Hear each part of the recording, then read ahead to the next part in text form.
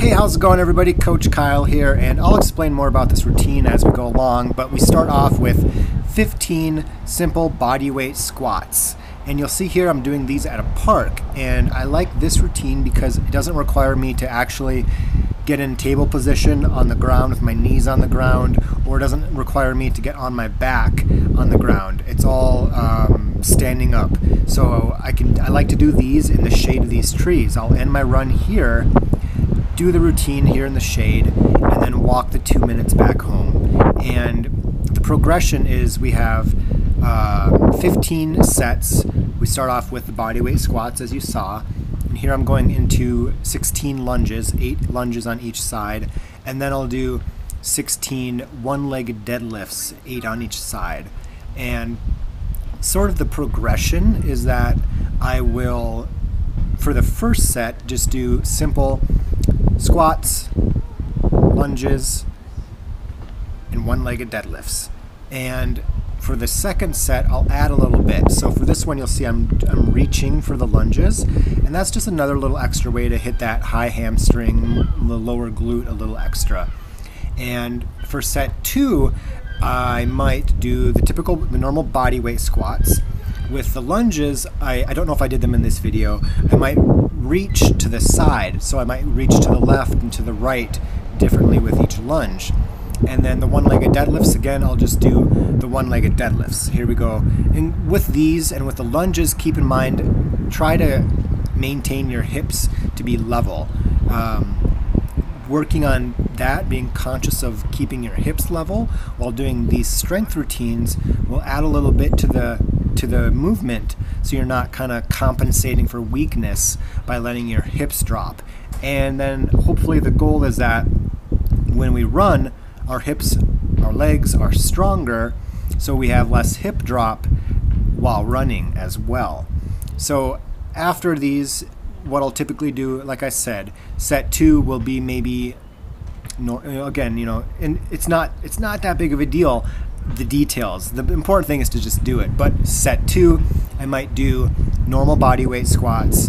The lunges will be reaching lunges, maybe to the side, in and out, and then normal one legged deadlifts.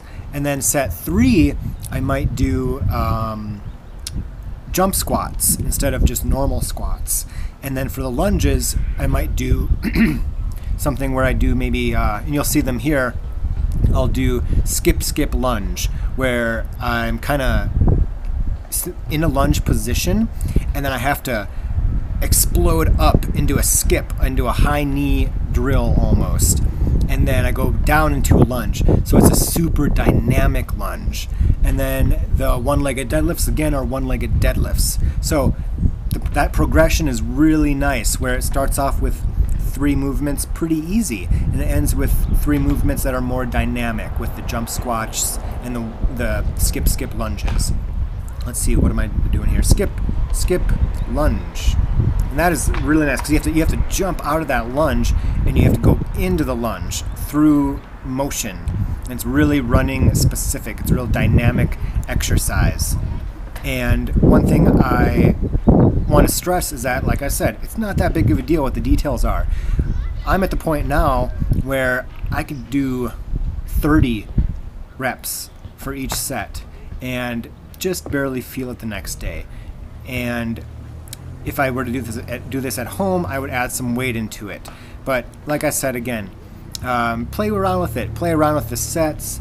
Play around with the reps. And I do like, to, and I don't think I did them here, but I do like to add uh, calf drops into these as well. And those I might wait until I get home and do them on my front step because it's nice to have a little uh, something there next to the step to balance yourself a little bit. But these eccentric calf drops are are where you simply on one leg you do a calf raise and then you slowly lower down. Calf raise, slowly lower down. And I like to do these I typically do 10 reps on each, so I do 10 on the left, 10 on the right, 10 on the left, 10 on the right. And the first set with each one will have a straight knee. And the second set with, with each one will have a bent knee. And this changes up kind of how it hits the, the calf muscles a bit. So that's the routine. Uh, hope you like it. It's real sim- real simple, real easy.